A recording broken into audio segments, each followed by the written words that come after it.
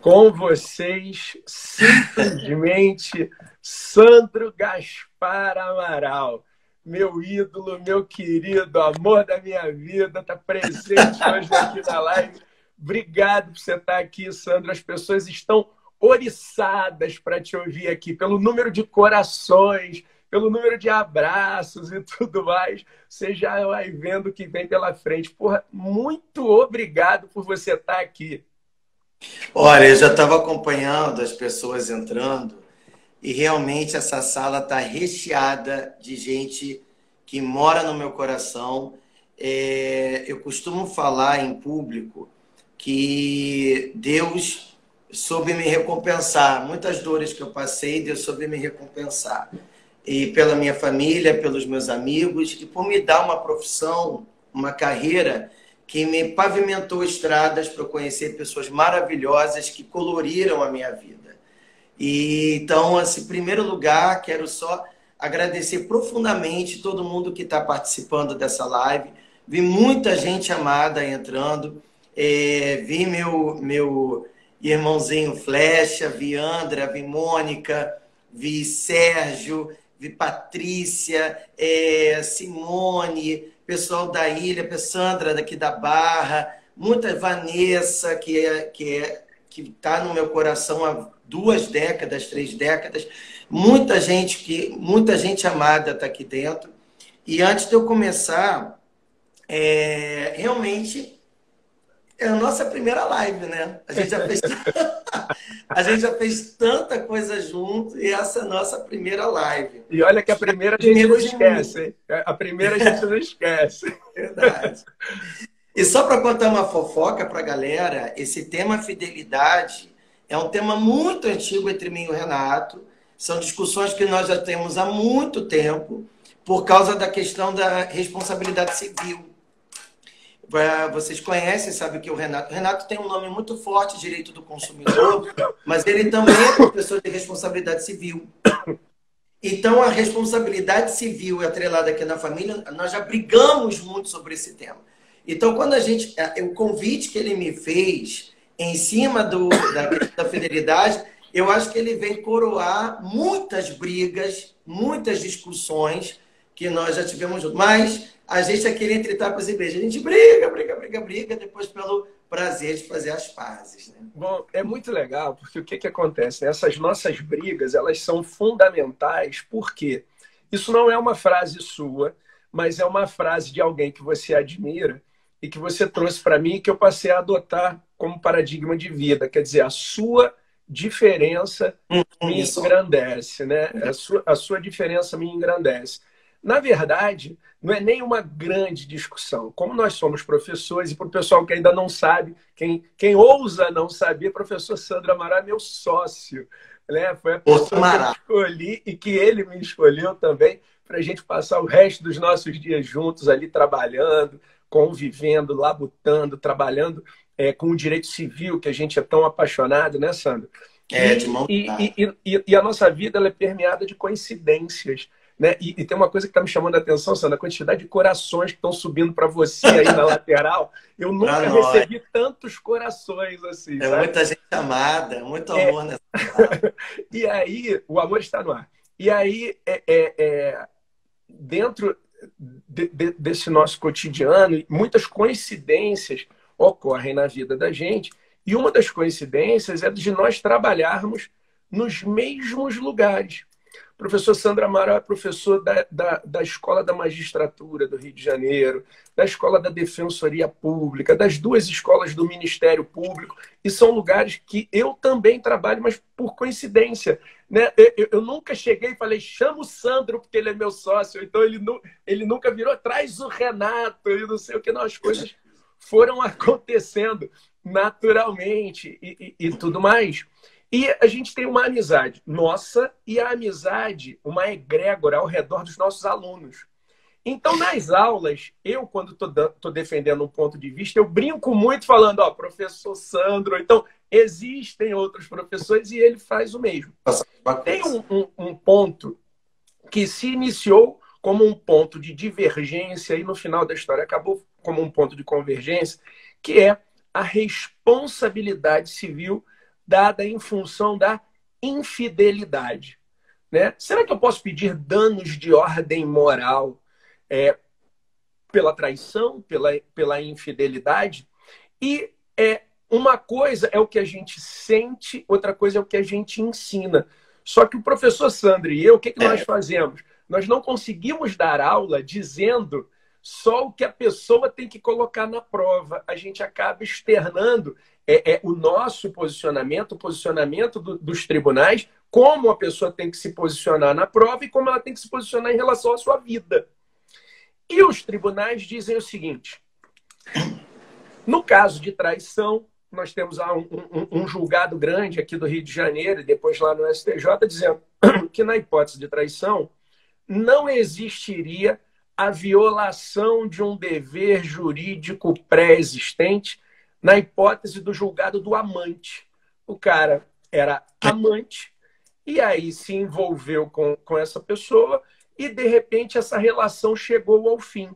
O marido é, ficou muito chateado e ajuizou uma, uma demanda pedindo uma indenização por danos morais. Então a gente fica brincando, olha, para concurso é, a gente tem esse posicionamento. No entanto, pensadores modernos da área do direito civil pensam de outra forma. Professor Sandro, o que você tem a dizer sobre isso? É, vamos lá. Até, até realmente essa, essa nossa discussão começou por causa do informativo 522 da STJ, Vou falar mais devagar, para o pessoal quiser anotar. O informativo STJ é 522. Eu até fui dar uma aula na FESUDEPERG na época só sobre informativos. Me pediram, normalmente na FESU eu não dou aula de família e sucessões, porque Luiz Paula, professor de família e sucessões, a Elisa Cruz, o Tadeu. Então, a, FESU já tem um casting de família e sucessões. Na, na FESU eu sou professor de Direito Reais. Mas aquela turma especificamente, se eu não me engano, foi a Cíntia, que era coordenadora acadêmica na época, falou: ó, vamos bolar uma turma de informativo e vamos trabalhar. Aí veio informativo 522. Eu não gostei do teor do julgado, isso virou uma discussão entre mim e o Renato. Mas antes da gente chegar nisso, deixa eu fazer um apanhadozinho aqui é, sobre a questão da, da fidelidade. É um fato, para quem, quem estuda a família, é um fato que quando a gente casa, o casamento forma consequências, são efeitos decorrentes do casamento. A nossa vida muda porque a gente casou. Toda a nossa estrutura de vida muda porque a gente casa. Uma é, é academicamente, né, só por uma questão didática, a gente agrupa esses efeitos em categorias. Então, da categoria efeitos pessoais estão os deveres conjugais. E os deveres conjugais estão elencados no Código Civil, no artigo 1566. Então, por que você se casa? Surgem deveres jurídicos.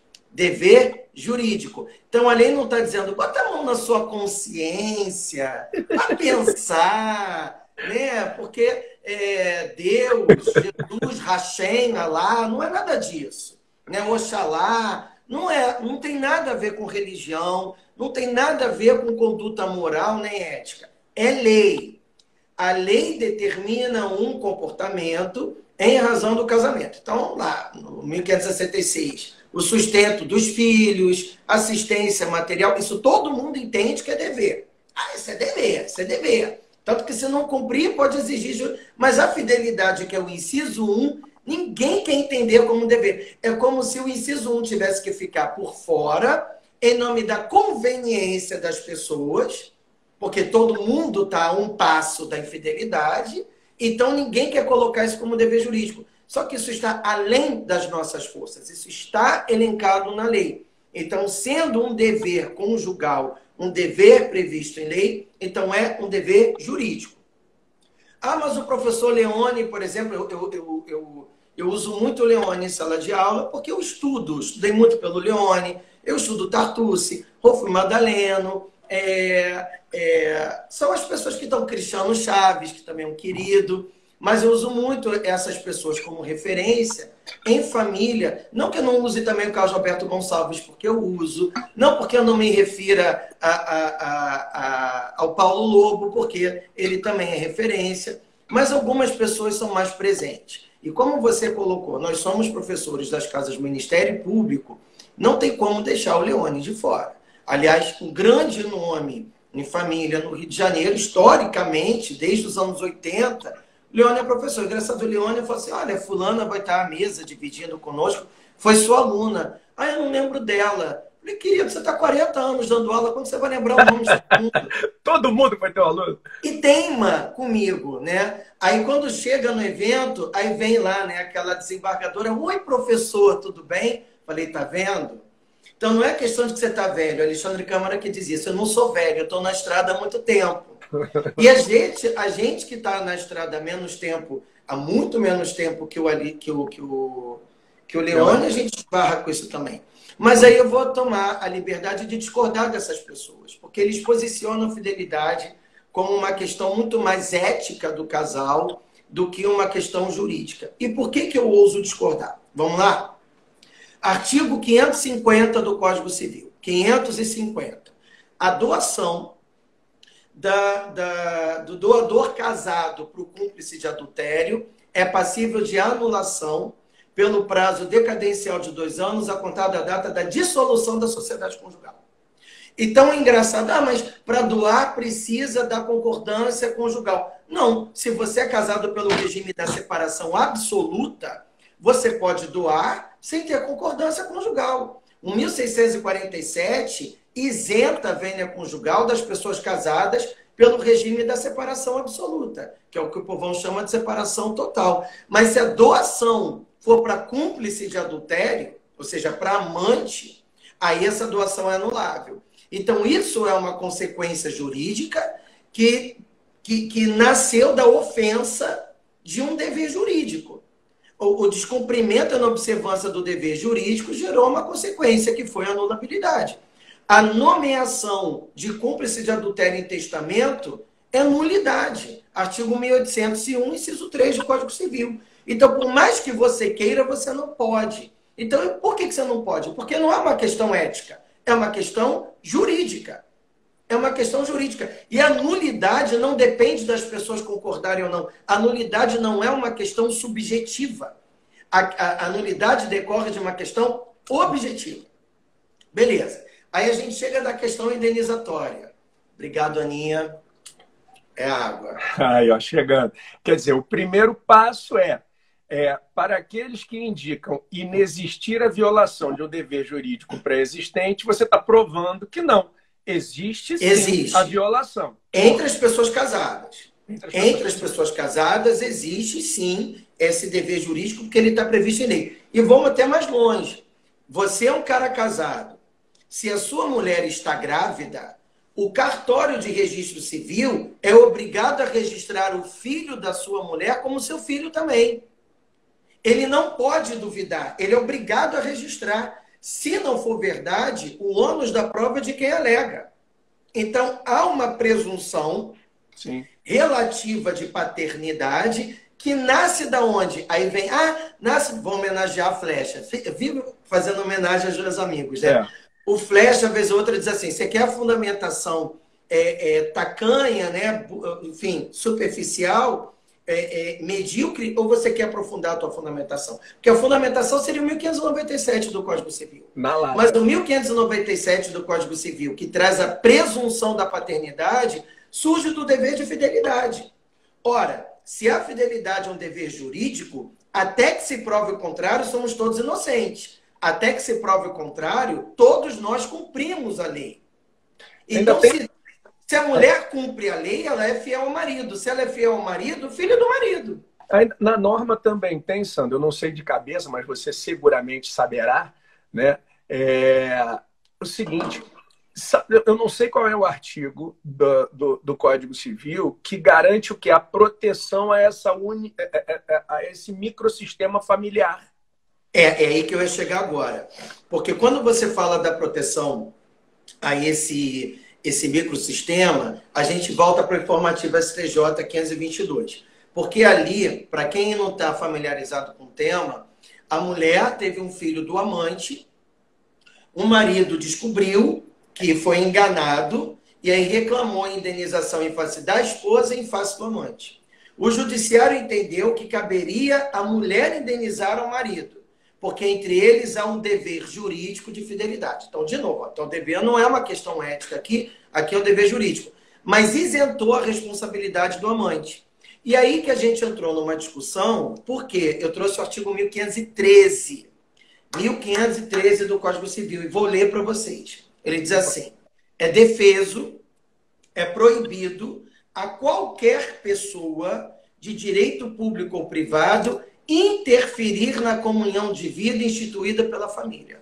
Então, nenhuma pessoa estranha àquele núcleo familiar pode interferir na vida, na harmonia daquele grupo, a fim de causar lesões. Lesões essas patrimoniais ou extrapatrimoniais. A única discussão que eu acho que caberia aqui, mas isso é meio que pacificado, é que essa responsabilidade não é objetiva. Essa responsabilidade é subjetiva. Mas quando se faz a defesa a qualquer pessoa de direito privado ou direito público, a gente cai na questão da fidelidade. E aí começa o desespero. Normalmente o desespero me é trazido pelos meninos, né? Parece que é um, é um papel de gênero do homem ficar é. se preocupando com é. isso. Ah, mas é, qualquer puladinha de cerca. Não, não é qualquer puladinha de cerca.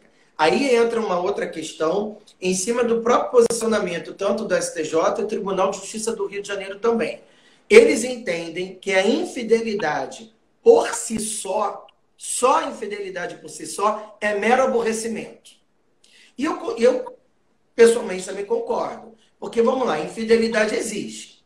A infidelidade é algo que acontece no mundo inteiro. Você vai casar e você acha que a infidelidade acontece só com os outros? Você acha que a infidelidade só está no casamento dos outros, na sua não vai entrar? É uma justa expectativa. Não estou dizendo que você tem que esperar que isso aconteça. Mas se isso acontecer, você não pode, ah, meu Deus, só acontece comigo. Não, amor, acontece com todo mundo. Com você também. Então, eles entendem que a infidelidade por si só não é causa para a condenação indenizatória. O que se tem que levar em consideração para uma condenação em razão de fidelidade são os aspectos circundantes, ou seja, é o que está orbitando ao redor dessa é, infidelidade. Houve exposição pública? Houve uma, uma mágoa mais séria? Por exemplo, a, a mulher traiu o marido com o irmão dele. Então, essa questão, esse, ou então com o pai ou com o filho, isso pode ter desdobramentos que não torna aquela infidelidade mais uma infidelidade. Ela tem um requinte de crueldade emocional, de uma tortura psicológica que outras não teriam. Então, ou então o caso. Então entra naquele negócio. Ela não me traiu. Ela me traiu. Então, é. essa brincadeira que eu estou fazendo faz todo sentido, porque existem traições e traições, quer dizer, fala um pouquinho Existe. sobre isso. Existem. Por exemplo, vamos lá. Eu fui a um congresso em Fortaleza. E aí, naquele congresso em Fortaleza, eu tive uma, uma, uma transa, uma relação sexual que ficou em Fortaleza e não voltou para cá. Não houve nenhuma reverberação social. Ninguém tomou conhecimento de nada, isso não vazou para lugar nenhum, não houve exposição vexatória, ou seja, foi um fato que ficou ali e se foi reportado para o meu marido ou para minha mulher, essa, essa, essa notícia não ultrapassou a esfera de intimidade do casal. Então não houve uma reverberação que ultrapassou os limites da vida íntima. Então, nesse caso, não haveria que se falar em indenização por dano moral. Agora, diferente é se você é, tem uma relação extraconjugal e você frequenta os mesmos lugares da sua. Você pega o carro da tua mulher para levar tua amante para passear, entendeu? E todo mundo fica Todos os Aí, seus amigos conhecem. É, e, as, a família dela, as amigas dela. Então você, às vezes, eu já ouvi mulher, uma mulher dizendo para mim, Sandra, eu não quero me separar do meu marido porque ele foi infiel. Eu quero me separar porque ele não me deixou escolha. Ele não me deixou oportunidade da gente resolver isso na nossa intimidade, porque ele transbordou isso para todo mundo. Ele transformou a infidelidade numa humilhação. Então aí a gente tem os tribunais acolhendo a tese indenizatória. Porque ela não é a infidelidade por si só, e sim com todos esses elementos que produzem o sofrimento, além do que seria um mero aborrecimento. Mas aí eu chego no que você falou. Por exemplo, se eu sou uma pessoa que conheci alguém, vamos lá, a pessoa sai do Rio de Janeiro, a primeira coisa que faz no aeroporto é tirar a aliança. Esconde a aliança. A gente sabe de gente que faz isso. Bota na mala, aí, né? Bota na... bota na mala, esconde. Aí encontra uma pessoa em que ela não conta que é casada, ela não reporta a existência familiar. Por que, que essa terceira pessoa tem que ser condenada se ela não teve nenhuma chance de decidir se ela iria ou não se envolver com uma pessoa casada? Aí que entra o elemento subjetivo da responsabilidade civil. Eu não posso responsabilizar uma pessoa por ter interferido numa vida familiar, aí entra o artigo 1513, se ela não teve menor chance menor cognição, menor possibilidade de conhecimento de que ela estava causando uma interferência. Então, para aplicar o artigo 1513, é necessário que a pessoa tenha consciência, a chance de saber dessa interferência. Porque, caso contrário, realmente não haveria o elemento subjetivo da responsabilidade civil. Então, a, a mulher que transou com o cara casado, sem ter menor consciência disso, não é justo que ela seja responsabilizada junto com ele. Ele que responda sozinho. Agora, já houve casos que eu acho que nós dois ficamos sabendo de uma mulher que ficou revoltada porque o namorado queria romper com ela. Ela o chamou para uma última transa, deixou o telefone com a câmera ligada para o espelho do teto, gravou a transa inteira e depois ela manda para a esposa. Na semana do casamento. Aí, na semana. Aí, quer dizer, aí ela não quer responder por responsabilidade civil. Quer dizer, ela acaba levando sofrimento para a esposa, para os filhos do cara, mas ela é isenta de responsabilidade. Quer dizer, acho engraçado o seguinte: a gente cobra indenização porque ficamos presos numa porta giratória de um banco. Né? Ou então porque inseriu o nosso nome no cadastro do SPC. Mais Mas de alguém 20 que minutos. destrói a minha vida familiar Não. não, não, não merece? É, mais de 20 minutos Entendeu? no banco. Não É, faz não faz o menor sentido. sentido. É, Faz o menor sentido. E- E eu não estou dizendo que ele seja santo. Mas o fato dele ser um crápula não quer dizer que ela seja santa. Não existe esse adultério com um só. Então, se houve. E, e você fez essa análise comigo na época. A, a responsabilidade civil aqui nasce porque a lei impõe uma obrigação negativa. Há uma obrigação de não fazer. E se essa obrigação de não fazer é descumprida, surge então a obrigação de pagar perdas e danos. Isso é técnico. E o pior, o cara sabe que a mulher é casada, aí vai expor a relação extraconjugal para todo mundo da família dela. Ah, Já que ela não pode ser minha, não vai ser de ninguém. Esse cara não vai responder junto com ela, por quê? Então eu discordo dos tribunais, acho que há um artigo 1513 que é desrespeitado pelos tribunais brasileiros, porque acho que é conveniente aos ministros, aos embargadores, aos juízes, fazer de conta que o 1513 não existe. Porque a gente Soltem corações para assim. ele agora. Agora soltem corações É para ele. mesmo. Soltem Tá muitos aí não corações. quer responder. É. Safadeza. É mais ou menos isso. Vamos resolver o problema aqui em casa, né? Eu sou eu e as minhas convicções, não é isso? Pois é, eu, eu É achei isso. muito legal. É, é, eu achei muito legal, porque é, é, quando a gente, sobretudo, começa a preparar a gente para concurso, né? Você quer ficar muito ligado no informativo disse, o recurso repetitivo disse, o julgado disse, mas é, por trás de um concurso público vai ter um ser humano que vai decidir a vida das pessoas Exatamente. Então, quer dizer, no- o, o, o que você está chamando é, o feito à ordem, na verdade, é que as relações humanas elas são muito ricas, elas são muito, é, é, é, é, é, elas são muito delicadas para que a gente julgue em atacado. Né? Como assim? Então, quer dizer, ah, não, não teve a violação de um dever jurídico pré-existente. Espera aí, entre o preto e o branco existem Teve. mais de 50 tons de cinza. Então, você está levantando, e que eu brinco dizendo, ah, então existem traições e traições. É verdade.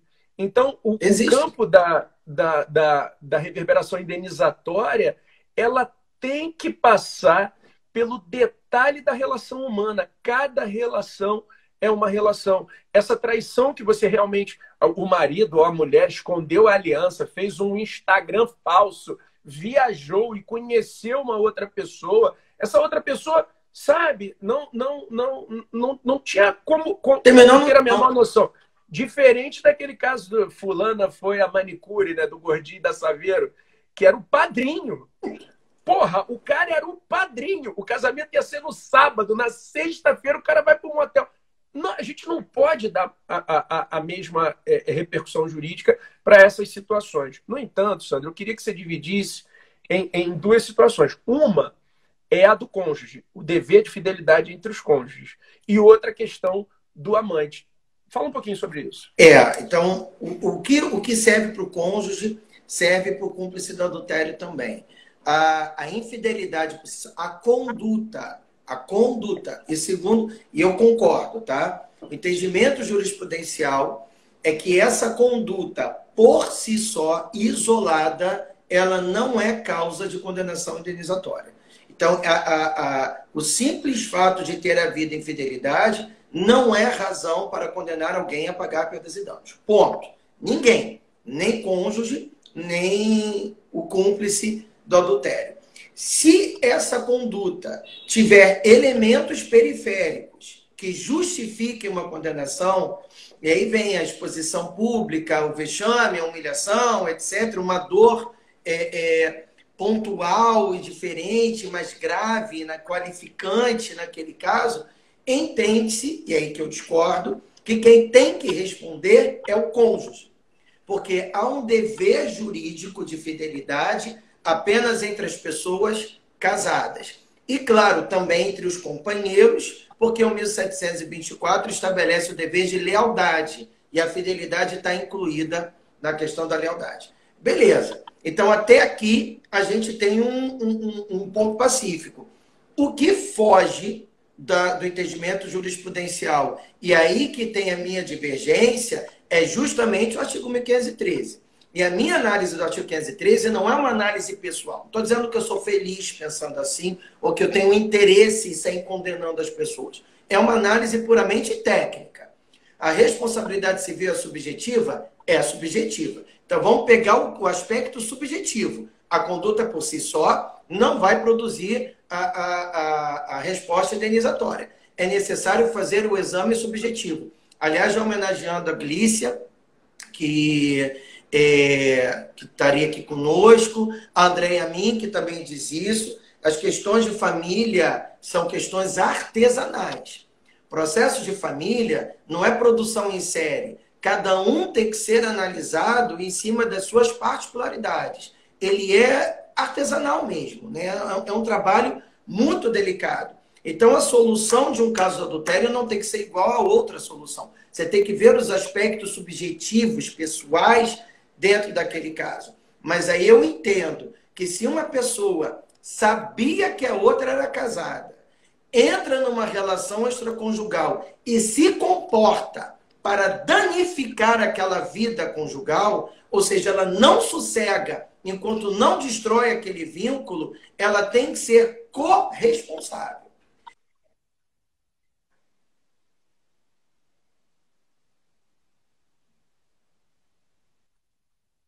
isentando a responsabilidade do cônjuge. Eu só estou dizendo que é uma responsabilidade concorrente, certo? Mas só se ficasse comprovado que houve essa intenção, houve esse discernimento de interferir e destruir aquela vida conjugal. Por quê? Porque responsabilidade civil subjetiva, ofendendo uma ordem de não fazer do artigo 1513 foi me dando vontade de rir aqui, assim, né? Porque eu falei assim, eu vou, vou zonear com esse negócio todo aqui agora, porque o, o raciocínio jurídico, eu estou contigo, você conseguiu me convencer é, de pensar dessa forma.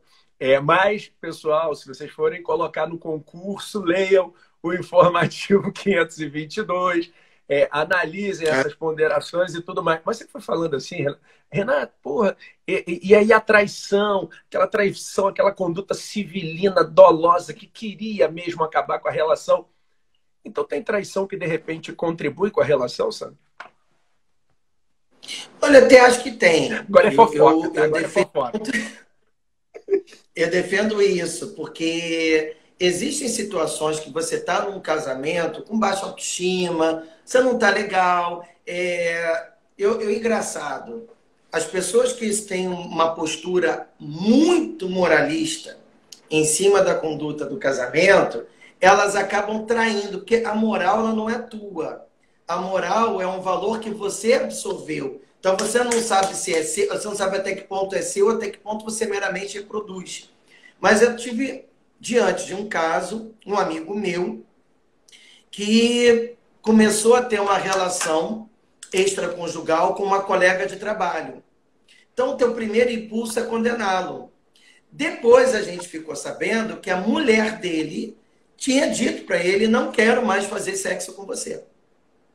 Então ela, ela deliberadamente não queria se separar dele, mas também não tinha mais desejo por ele. Então ele estava um ano sem ter relações sexuais, até que surgiu essa relação paralela. Aí vem muita gente que diz: ah, então por que, que ele não separa dessa mulher? Porque casamento não tem, não está necessariamente dependendo de vida sexual. Tem muitos casais, ou por causa da idade, porque não tem muito interesse por sexo, o sexo não está mais tão presente no casamento, mas são muito unidos, se gostam de estar juntos. É uma Frank, frase minha. Fra eu gosto Frank, de estar casado. Frank e, e Claire Underwood. É, pode ser. Ela é, uma, ela é um exemplo de uma relação muito forte, uma, uma parceria muito intensa, mas que não transita pelo sexo. Eu uma vez atendi aqui no escritório, não sei se eu te contei isso, porque a galera não sabe em casa, mas as questões de família muitas vezes eu tenho sozinho, porque são muitas intimidades que são, que são trocadas. E a mulher me falou, Sandro, eu fiquei com aquele cara durante 15 anos sem fazer sexo, até porque ele passou a ter uma impotência coemunde por causa de uma doença que ele teve. E depois desses 15 anos, ele me largou para ficar com outra. E eu perguntei, mas por que você não transou durante esses 15 anos? Por que, que você se colocou nesse lugar de sofrimento? Ah, mas eu era casada. Mas o que uma coisa tem a ver com a outra? Aí? E ela começou a refletir. Realmente, se eu tivesse, ele não podia transar comigo. E eu fiquei do lado dele, eu fiquei cuidando dele, eu fiquei trocando a minha vida com ele, eu fiquei junto dele. Mas será que eu teria que ficar impotente junto com ele? Será que eu teria que viver insatisfeita? Ou será que eu teria que jogar esse homem fora, deixar ele sem a minha parceria, sem a minha presença, porque ele não podia transar comigo? Eu acho que o sexo é um tabu muito grande. As pessoas têm muita dificuldade de falar de sexo as pessoas são muito mal resolvidas com o sexo. E acho que isso vem de uma bagagem milenar nossa, de que a gente não pode falar em pênis, não pode falar em vagina, não pode falar em anos, a gente não fala de amor, a gente não fala de nada, e a gente vai vivendo com angústia, recalcados, infelizes. Então eu falo, gente, vamos embora ler, vamos embora, vamos embora abrir a cabeça. Ah, então você transa com todo mundo. As pessoas, muita gente é, que me conhece, já julgar, mas o Sandro fala isso porque ele não é uma pessoa muito apegada a sexo. E aí isso gera um julgamento em cima de mim. Ah, então você não pode falar nada dos outros. Eu não estou falando de ninguém, eu não estou julgando ninguém. Eu realmente acho que a gente vive uma sociedade em que é, é, é uma grande ilusão. A gente vive uma ilusão material. A gente acha que tem que ter um carro de 200 mil reais porque a gente quer mostrar para os outros. A gente tem que transar com todo mundo, a gente tem que comer mais do que precisa, a gente tem que beber mais do que precisa, a gente tem que consumir mais do que precisa. E depois, no final da vida, a gente se, se ilumina. Eu não precisava daquilo tudo. A gente passa a vida num frenesi atrás de necessidades que foram artificialmente incutidas na nossa cabeça. É o mundo da ilusão. Eu não, eu então, não... na hora que você se liberta dessa ilusão, você para para pensar, cara, por que, que eu fiquei 15 anos nisso? Será que eu não poderia ser uma esposa maravilhosa para esse cara, mas ser mulher de vez em quando? Então, acho que nessa hora a traição ajudaria essa mulher a estar tá mais plena, a estar tá mais feliz, segurando a mão desse homem. E vice-versa. Mas não, eu vou pegar um casamento, às vezes de 30 anos, jogar no lixo, porque o meu marido, porque a minha mulher teve uma relação extraconjugal não sei quantos anos atrás e que não trouxe nenhuma consequência para dentro da nossa casa. É verdade. Não sei. Bom, Eu é, acho que é uma então supervalorização do sexo. Bom, gostei e não podia ser diferente. Né? Agora, Sandra, eu só vou ter que antecipar um pouco as perguntas, porque você não tem noção da quantidade de perguntas que eu estou recebendo aqui. Bora. Corações aí, Bora. eu vejo.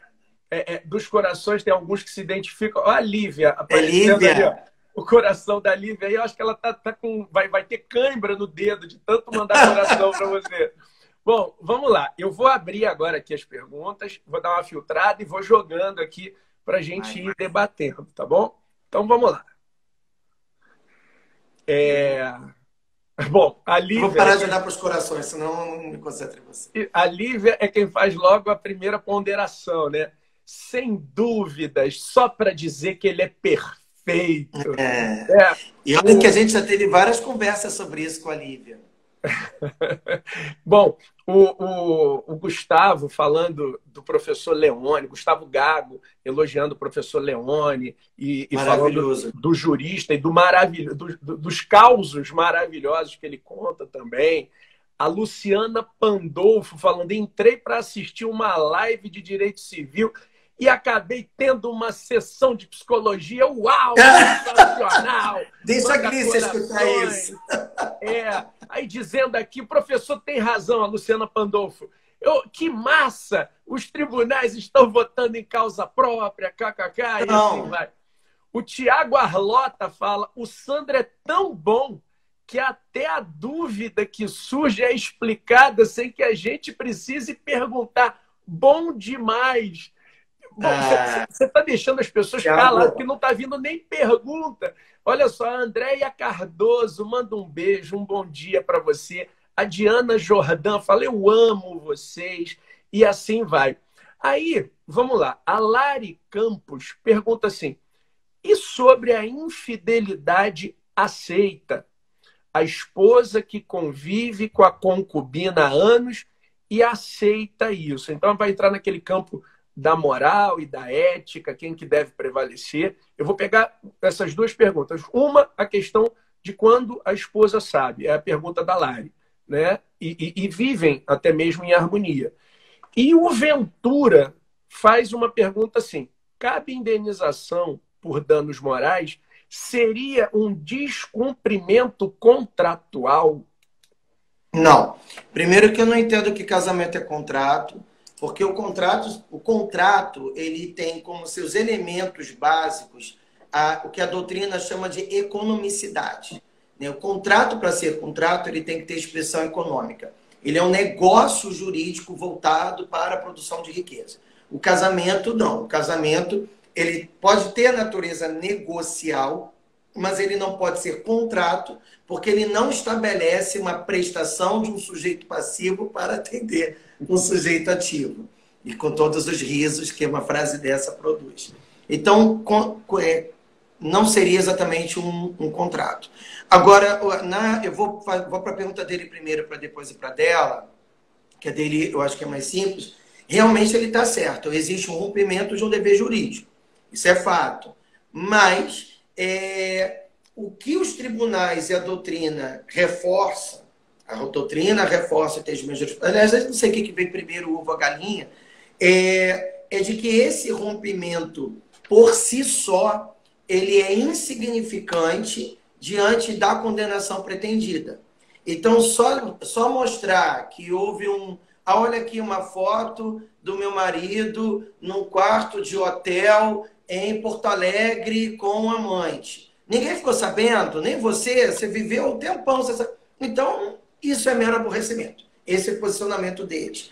Ele tem razão, isso, isso é um descumprimento de um dever jurídico, mas que não gera, segundo. E eu concordo com os tribunais nisso, senão a gente viveria um inferno também. Eu acho que só o fato isoladamente não justifica a condenação.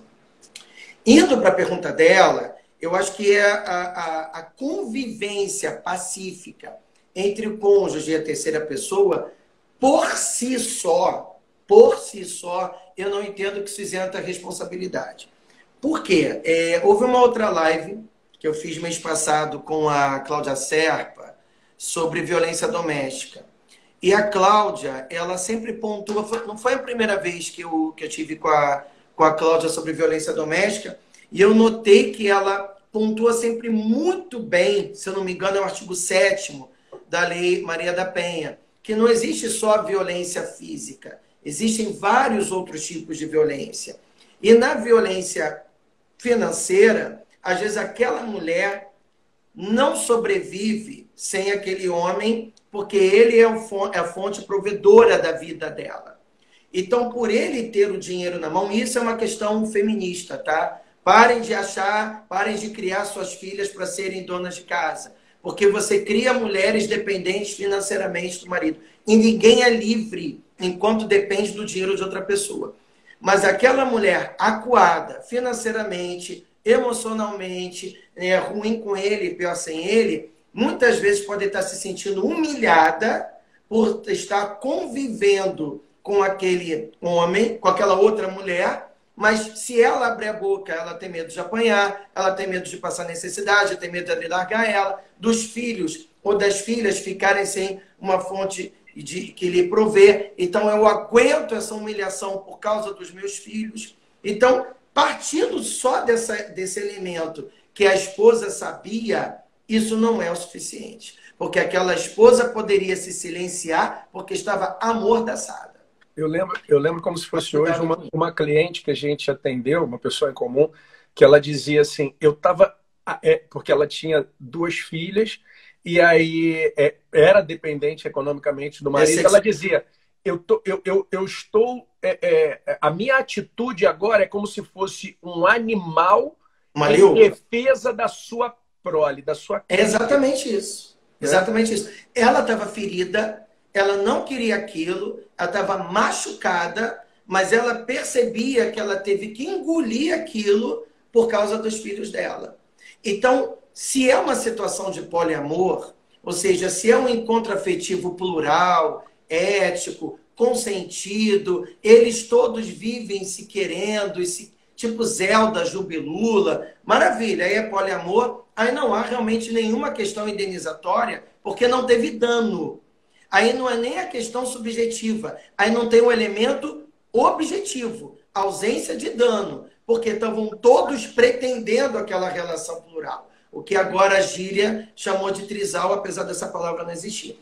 Agora, o fato isolado da esposa estar em silêncio, só se o silêncio dela for é, é, é consequência, é efeito da vontade dela. Agora, se ela está amordaçada, ainda persiste a questão indenizatória. Eu acho interessante, eu lembro de um programa que chamava Na Moral, que era do Pedro Bial, que de certa forma estou me sentindo, estou me sentindo um pouco Pedro Bial agora, né? entrevistando simplesmente é, a professora. Tá bom, então, e eu lembro que, a, a, já que o nosso tema é traição, é, o tema do programa era traição. E aí eles entrevistaram um, um casal que frequentava boate de swing. E aí uma das pessoas perguntou: vem cá, você não se. É, quantas, com quantos homens a sua mulher transa numa noite dessas? Aí ele falou: ah, com uns 10. Aí, a, a, ele pergunt, aí o, o, a pessoa perguntava para ele: você não se sente traído, não? Aí ele: não. Eu me sinto excitado com isso. Sou eu que peço para isso acontecer. Então, entre a ética e a moral, olha a ética ganhando. Aí mais. É, né? E aí, de novo, se essa mulher faz isso porque é forçada pelo marido, isso é violência doméstica. Se essa mulher faz isso porque ela deseja, aí está no jogo. Tá no jogo. Aí está no jogo, no entendeu? Jogo. Então, tudo é uma questão da gente. A análise nunca pode ser objetiva. Ela sempre tem que ser subjetiva. Porque família é subjetividade. Família é formada de gente, não é formada de dinheiro. Então, como somos 7 bilhões e tantos de seres humanos, um completamente diferente do outro, um cachorro é diferente do outro. Então, um ser humano tem que ser diferente, uma planta é diferente da outra. Nós somos diferentes.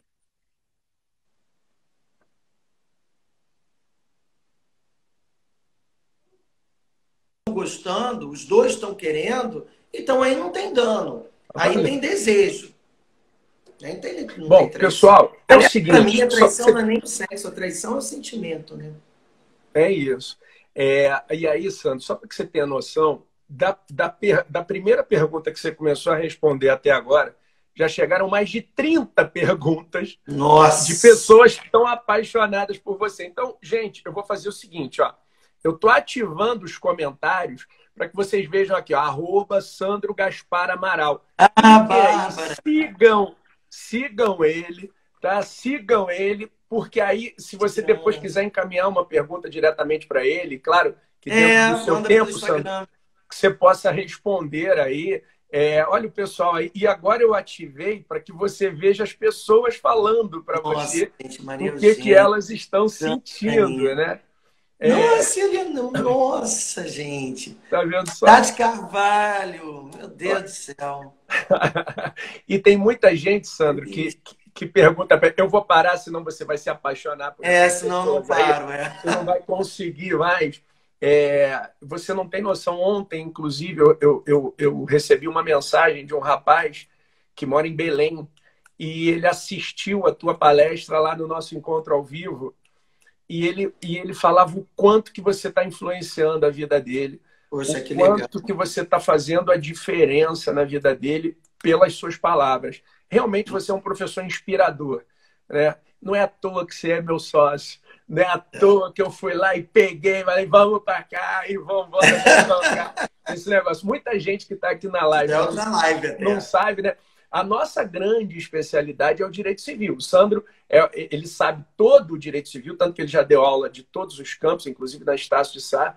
Quem não sabe, o Sandro já foi professor de obrigações, contratos, é, e, geral. E, e, lá no parte geral, lá no escritório a gente divide mais ou menos assim. O Sandro é o cara dos direitos reais, sucessões e família. Né? Sucessões e família. Tanto que é, é engraçado, né, Sandra? A gente tem advogado muito para advogados, quer dizer, auxiliado advogados. Porque às vezes o cara faz muito... um inventário gigantesco, não sabe o que fazer, manda uma mensagem, marca uma consulta, bate um papo, esclarece um pouco a vida e a é. coisa anda. E eu faço o campo da responsabilidade civil, do direito consumidor. do consumidor, obrigações e contratos também ali atuando. E ninguém sabe que boa parte dos processos do nosso escritório, que ninguém nos ouça, são de direito do trabalho, né? É, olha a Dani aí, gente. Nossa. Olha a Dani aí, que também está na live assistindo, maravilhosa. É, é muito e, agora eu queria saber o seguinte. Então, já são agora 40 perguntas. Eu não vou ter tempo de responder, não dá porque a live ela cai às 11 horas, ela deixa de existir, o Instagram derruba depois de uma hora, mas o papo tá tão gostoso que dá vontade de ficar abrindo outras lives para a gente começar agora a fofocar, a tricotar. Mas eu queria saber um pouco mais do Sandro, de quem ele é, do ser humano e tudo mais, onde ele estudou, qual é o time do ah. coração, qual é a cidade que ele é apaixonado. Então vamos lá, onde é que você estudou, Sandro? É que escola, você quer saber? Não, não, não, não universidade. Vamos da universidade para frente. Eu fiz o FRJ. É, tá vendo só? É um cara bonito, tem todos os dentes na boca. Tá vendo só? Como é que ele vira meu sócio? Para várias semaninhas falar isso. Você tem todos os dentes na boca. E torce para o. Eu torço pro Flamengo. Porra! Olha e aí, aqui, sabe que ele é Fluminense? É.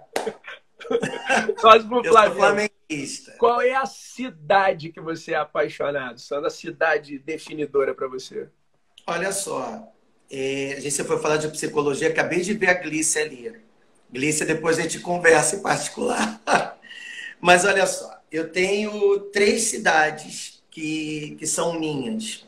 O Rio de Janeiro, eu fui sacar que eu era muito carioca quando eu morei em, em Friburgo. Porque eu de 15 em 15 dias vinha para casa.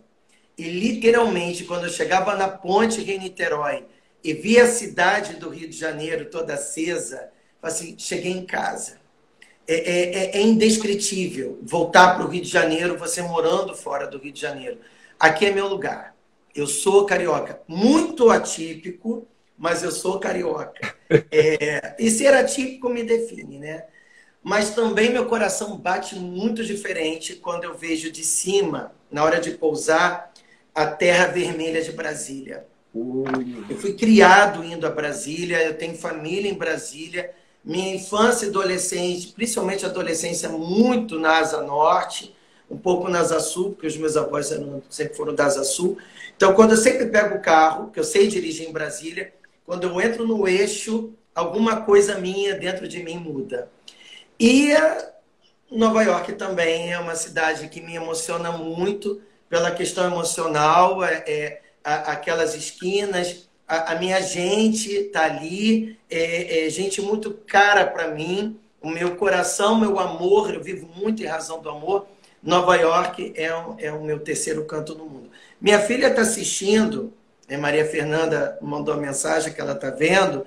Portugal acabou se tornando o meu lugar, mas não por minha causa, por causa da minha filha. Mas é, se for para ser meu, meu, meu, Rio, nessa sequência. Rio, Brasília, Nova York. Rio, Brasília, Nova York. Portugal, eu gosto muito, até porque a cidade é a cidade do Porto. Então, melhor ainda, né? A cidade do Porto, melhor ainda. é... é onde a Maria Fernanda mora, né? Exatamente, por isso que eu estou falando. Um livro jurídico e um livro não jurídico que você indicaria para o pessoal? Olha, um livro jurídico, eu tô, eu tô aqui mudando um pouquinho, Renato, porque está indicando que a bateria está fraca, estou com medo que caia. Não, não, mas a gente só tem mais dois minutos, fica tranquilo. É. Livro dar, jurídico. Eu né, não sei te dizer exatamente um livro jurídico. Eu tenho alguns autores de direito civil que eu acho que são fundamentais para que a gente tenha como referência. Eu vou citar alguns que para mim são muito importantes. O Leone é uma pessoa muito importante, que claro, eu tenho eu tenho imenso prazer de ser amigo do Leone eu tenho muito amor por ele. É, Leone entrou na minha vida pelas mãos da Raquel Delmas, que é minha amiga há muitos anos. Ele é marido dela, mas é alguém que eu criei um laço de amor de verdade. Mas realmente o cara é incrível. Então, Leone é uma referência. Luiz Paulo Vieira de Carvalho é uma referência para mim muito grande, principalmente direito das sucessões. Cristiano Chaves é uma referência para mim muito grande. É, é, alguém que eu também carrego no coração, mas o cara escrevendo é incrível. E Marco Aurélio Bezerra de Mello. É, é, eu, eu, nem queria ser amigo do Marco, porque eu tinha tanta admiração por ele desde os anos 90, desde quando ele foi coordenador do Núcleo de Terras da Defensoria Pública, que eu falava: esse cara não pode ser gente. Eu até falei isso para ele uma vez. É Você não pode ser né? gente. A admiração era tamanha. Então, Marco Aurélio Bezerra de Mello é uma leitura obrigatória na minha biblioteca. Livro não jurídico tem muitos, mas eu, eu publiquei um, um vídeo há pouco tempo falando da obra do, do Frederick Engels, né, da, da família da propriedade privada do Estado, porque a origem, porque o estudo dessa origem mostra que toda a nossa sociedade, a nossa estrutura familiar, o, o, o, pensamento público, o lidar com o outro, a vida e sociedade tudo descamba na propriedade privada. Meu querido, muito obrigado pela participação. Faltam 43 segundos para a live ser derrubada. Um beijo, muito obrigado. Você tem 20 segundos para dar uma mensagem final para o pessoal. Olha, viva a revolução do amor. Que tudo que a gente estude, que tudo que a gente faça, que tudo que a gente viva seja inspirada pelo amor. O amor ao próximo, o amor à vida, porque tudo que move é sagrado. Tá? Beijo grande. Beijo. Tchau, galera. Um beijo. Valeu. Tchau, gente.